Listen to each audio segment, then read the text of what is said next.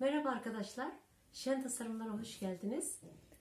Ee, bugün e, spor ayakkabısını süsleyeceğim ve e, bir tane pantolon yapacağız. Dikiş yok bugün, nakış yapacağız. Ee, böyle bir spor ayakkabım. Geçen gün e, yolda yürürken kaldırımda ayağım takıldı ve yırtıldı. Şimdi şu şekilde şöyle göstereyim. Ee, spor ayakkabımın burasını e, nakışla e, kapatacağım. Birkaç tane çiçek koyup süsleyeceğiz. Şimdi e, böyle ipler aldım. Buna moline ip diyorlar. İpeksi pamuksu %100 pamuk bir ip. Renklerini bu şekilde seçtim. Şimdi bu yırtılmış yere bir tane dal yapacağım. Ee, sonra e, yanına da bir, birkaç tane şuraya da çiçek konduracağım. Şimdi e, buraya bir tane e, önce yerimizi belirleyelim. Şöyle bizim yırtık yerimiz, yırtılan yerimiz burası.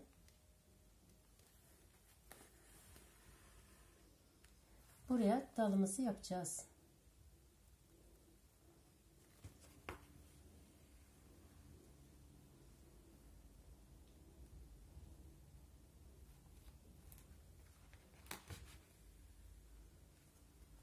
Şöyle şu şekilde yaptım.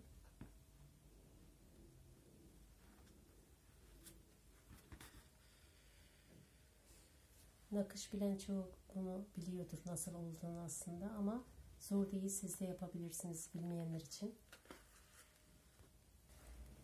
Şöyle hattımızı belirledik ama ben buraya e, biraz hem e, sabitliyorum yırtılan yeri dikiyorum açıkçası. Hem de dalımız oluşuyor ben bunu dikerken.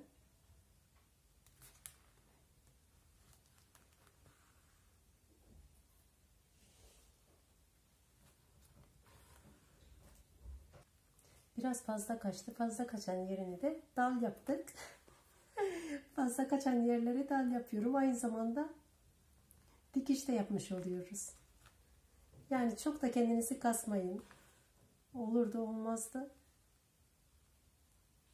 Her halükarda güzel oluyor bence. Yani e, dikiş, e, nakış girdiği zaman bir şeylerin nakış girince çok güzel oluyor. Evet. Dalımız bence çok güzel oldu. Şimdi bu ipi de burada düğüm attım. İpi aynı şekilde spor ayakkabısının içinden ara yerden geçireceğim. Evet dalımız tamamdır. Şimdi e, şu noktalara küçük çiçekler konduracağım iki tane. Şöyle. Pembeden yapacağım.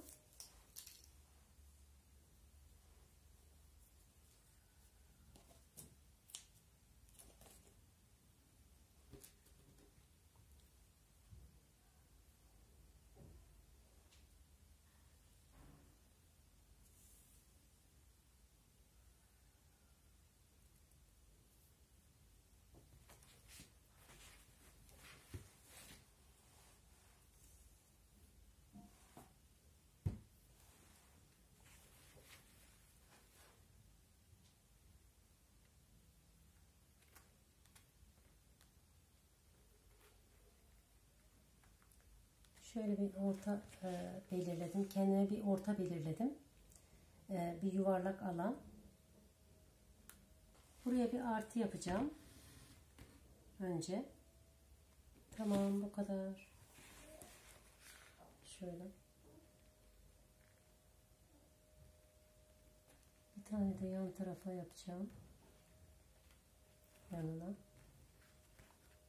Sonra onların ortalarına bir tane sarı koyacağım.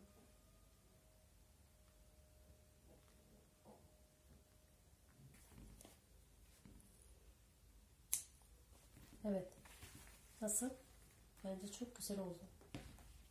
Gayet güzel. Buna e, sarıdan da şey yapmak istiyorum. Göbeğine. Tohum. Şimdi buradan düğümü attım ve çıktım.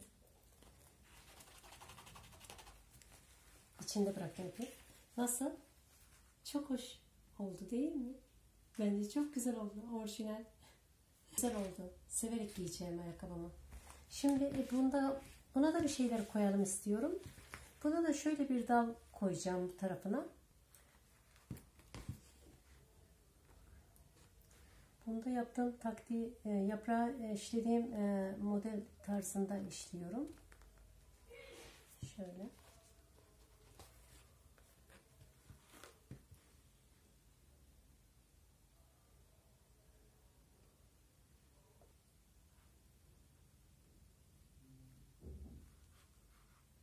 Ben bu çiçek işlemesini çok seviyorum. Çünkü bunun birçok şeyde kullanabiliyorsunuz. Örgü kazaklarınızda, bluzlarınızda.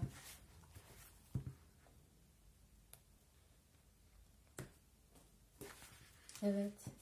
Güzel oldu. Şuraya bir tane yaprak yapacağım. Nasıl? Gayet güzel. Severek giyeceğim. Yenilendi ayakkabım. Evet. Nasıl arkadaşlar? Çok güzel oldu değil mi? Çok hoşuma gidiyor. Çok severek giyeceğim. Ee, sizin de böyle e, ayakkabılarınız, kıyafetleriniz bir kazaya uğramış olabilir. Onları böyle küçük nakışlarla kapatabilirsiniz.